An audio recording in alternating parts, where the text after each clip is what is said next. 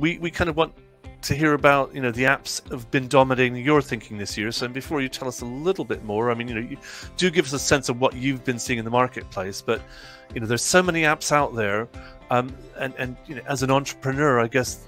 And, and as someone analyzing the market, you know, on customer on clients' behalf, it's sometimes all about you know where are the functional gaps. So just give us an idea what what you know what you've been looking at and seeing in the market, and and how that steered you into a particular sure. area.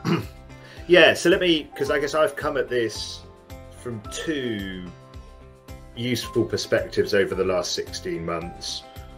One has been in selecting where to focus for, for my uh, next business, and the other is in consulting with a range of software or tech based service businesses who are looking to kind of carve out an opportunity uh, within this ecosystem. So um, I've got um, I've got kind of six trends as part of this. The first cash flow we've already covered.